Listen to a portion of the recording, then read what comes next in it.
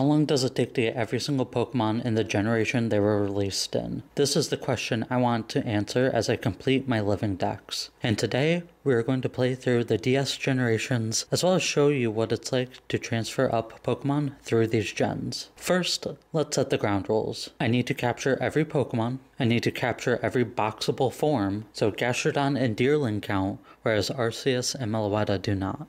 Use legitimate or as legitimate methods as possible, with glitches counting as so do emulated events. Now let's get started. This is cool. How much is it? I'll cut you a deal. Talk to three random clowns in the city. If they give you the three light blue McDonald's Monopoly pieces, it's all yours. Now, with the start of each generation, I like to get the most troublesome Pokemon out of the way first. And while Gen 4 certainly has one, because unlike Gens 2 and 3, where I need to play an extra mainline game or two, I have to play a side series, Pokemon Ranger, to get the Manaphy Egg.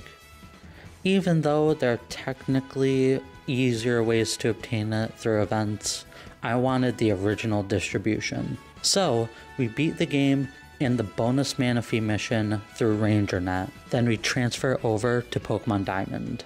We need to play through Diamond and Pearl in order to get a few version exclusives. One, the fossil in the underground. It'll be easier to get them that way rather than Platinum, which is based off your ID. The Duskstone Pokemon, so Misdreavus and Murkrow that we can get in Eterna Forest, and a duo that I'll dub as the Galactic exclusives, Glameow and Stunky. Stunky in Diamond is at Cycling Road. However, Glameow can be found as soon as getting Surf and going to the grass next to Canalave City, which is towards the end of the game. However, to do this quicker, we're going to use the Void Glitch to get to Canalave early by getting to New Moon Island, catching Darkrai, and battle our rival to get to the right half of Canalave, where we can actually get Quick Balls and catch Glameow early. Now, usually when I do stuff like this, I want to explain how this works, but honestly, I have no idea. There are amazing videos out there that explain it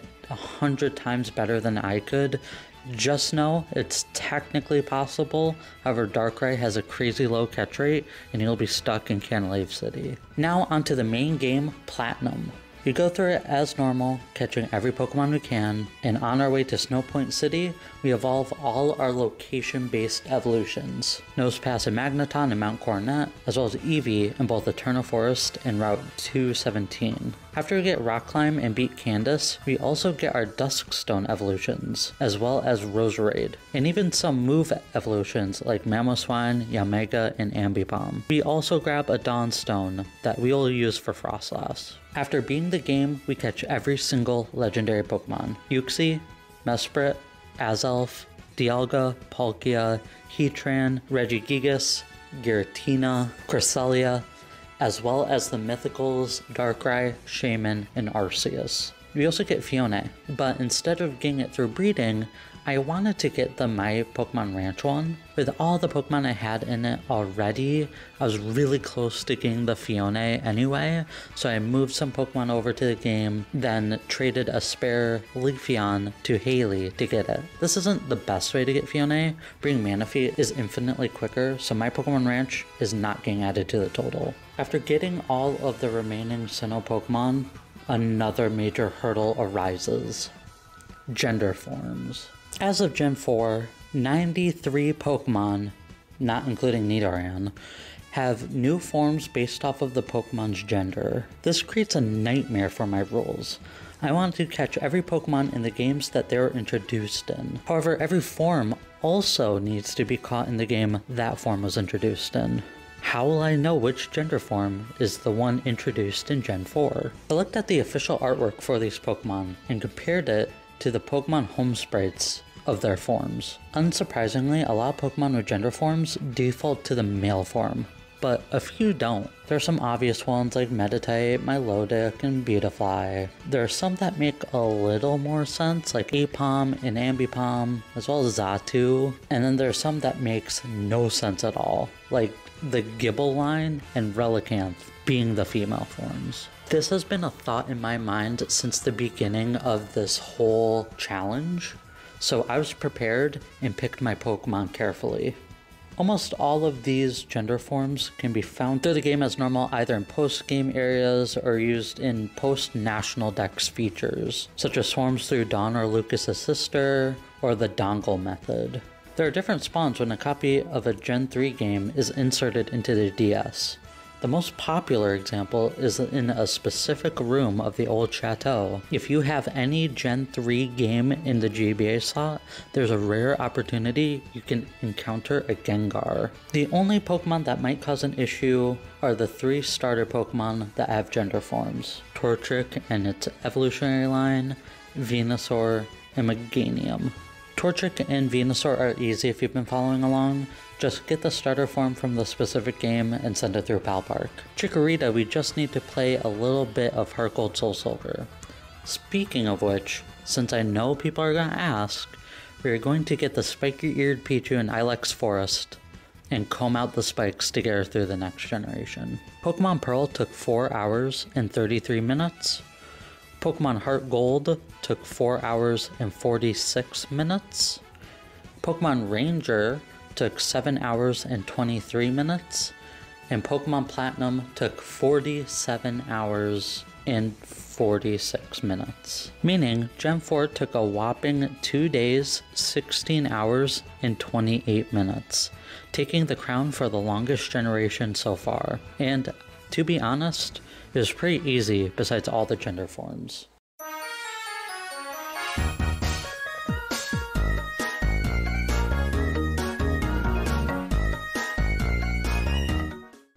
To start Gen 5, we're going to start in Gen 4 with one of the coolest events in the franchise. Back when Pokemon movies were made, they would often have next gen Pokemon appear in the movies as major parts of the plot. Pokemon Heroes with the Lati twins, Lucario and the Mystery of Mew, Manaphy and the Sea Temple, so on and so on. Gen 4's cross-generational movie features Zorua and Zoroark, as well as the legendary beasts and Celebi. You can obtain the shiny beasts transfer them to black and white, and encounter Zoroark. Celebi was even cooler. Celebi unlocked a cool event in Heart Gold and Soul Silver where you go back in time to see Giovanni. You also learn that your rival is Giovanni's son. Not only that, but you can transfer Celebi to Black and White and you get Zorua in Castelia City. It's two cool events for the price of one. But there is another oddity to these events. Now, I'm sure you're aware that events back in the day were distributed through special DS cartridges, and I was actually given one of these for the Shiny Beasts event. However, there's a secret on this cart, a distribution that was never officially released. Well, kind of. It's a Celebi distribution, very similar to the Winter 2011 Celebi. But it has a GameStop trainer ID, it probably went unused because the Celebi event was programmed to happen a month after the last Legendary Beast was distributed, but no less, it's a really cool event Pokemon. There is nothing else super remarkable about Gen 5. I'm on day two of what my friends call hitting the wall. And ironically, in black today, on my one of the days that I have off, I play Pokemon Black to do this Dex challenge, and I get fucking Pokerus while I'm sick with Pokerus. Like, how rare is that? Like, that's ridiculous. There have been a lot of Pokemon that seem to be exclusive at one point, but are just rare in one game or the other like Sawk and Throh, the Basculin forms. Heck, Nacrene City, you can trade to get either a Petilil or a Cottonee, depending on your game. Meaning, besides the Box Legend and the Genie Pokemon, there are only two lines that are 100% exclusive either the Gothita or Solosis evolutionary lines, and the Rufflet Vullaby lines. As well, of course, as getting the opposite fossil and your starters. We also use the event distribution to get to Liberty Island for Victini, as well as get Meloetta, Keldeo, and Genesect. After we catch Cobalion, Virizion, and Terrakion, as well as Reshiram, Zekrom, and Kyurem, we have another set of legendaries to get. the forces of nature Thundurus, Tornadus, and Landorus. Now, we've caught these Pokemon in the base game, but they have special forms. Forms you can only get in the Pokemon Dream Radar game. It's a pretty fun game with a ton of cool things to get, but the highlights are the new Therian forms, exclusive to this, as well as Black and White 2. White 2 took 27 minutes, Dream Radar took 2 hours and 59 minutes, White took 9 hours and 36 minutes, and Black took 30 hours and 34 minutes. That means Gen 5 took 1 day, 19 hours, and 36 minutes to complete. Now that I've caught all the Pokemon up to Gen 5, let's transfer them and organize them in Pokemon Bank. It appears that Pokemon Bank has been delayed for North America and Europe. Now, this is not final, it's just that on the These gens are fairly easy as far as transferring goes. You open Poke Transporter and move everything in that's in your first box. Now, this is a little time consuming and annoying on the actual game side because moving all these Pokemon means changing boxes, which in this gen requires saving. And you only transfer out 20 Pokemon. Now, something like PKSM would help organize these Pokemon a lot better because you can freely move them between boxes, but I wanted to do it legitimately. Gen 4 introduced Pal Park, an area where transferred up Pokemon from Gen 3 are encountered in one of five areas field, forest, mountain, pond, and sea. You can only transfer six at a time, either using a DS Lite or an original DS, meaning every Hoenn Pokemon, as well as the three extra Deoxys and two unknown forms, took 24 transfers. And unfortunately, you can only do one transfer per day, meaning it took 24 days to transfer every Pokemon. Each session took about 10 minutes as I transferred Pokemon based on their location. So each of the six were found in one location instead of going around the whole park. While we are in Gen 4, we went to Veilstone City to change Deoxys's forms. Gen 4 to 5 is fairly similar to Gen 3 to 4. You play a minigame transferring 6 Pokemon at a time.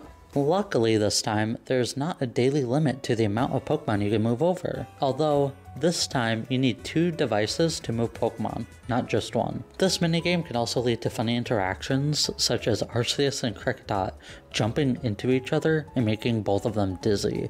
Gen 5 to Bank is just like Gens 1 to 2, where Box 1 gets moved using Poke Transporter. Now, because of Gen 5's box system, this is a lot better than Gens 1 and 2. However, it's still time consuming as Gen 5 didn't have a multi-select option as other generations do. At least to my knowledge. So Gen 1 took me 50 minutes to transfer and another 30 minutes to organize the Pokemon in the Pokedex. Gen 2 also took me 50 minutes to transfer, mostly because saving between moving boxes takes so much longer in Gen 2 than Gen 1. And it took me 4 minutes to organize them. Gen 3 to 4 took me 4 hours to transfer between 24 days. Then Gen 3 and 4 to Gen 5 took 1 hour and 20 minutes. Gens 3, 4, and 5 to bank took a whopping 2 hours and 47 minutes, and that includes all of the organizing.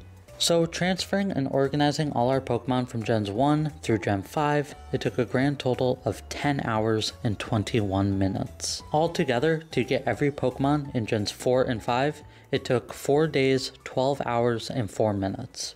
Including all of the transferring and organizing of all the Pokemon brought it up to 4 days, 22 hours, and 25 minutes.